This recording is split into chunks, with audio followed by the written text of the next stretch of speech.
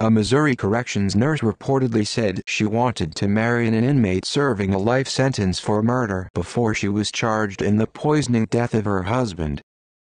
His body was found after the fire on December 11 after an arson fire at the couple's home. The state fire marshal's office and the Miller County Sheriff's Department determined that an accelerant was used to start the fire in the master bedroom. An autopsy determined that he died of poisoning before the blaze.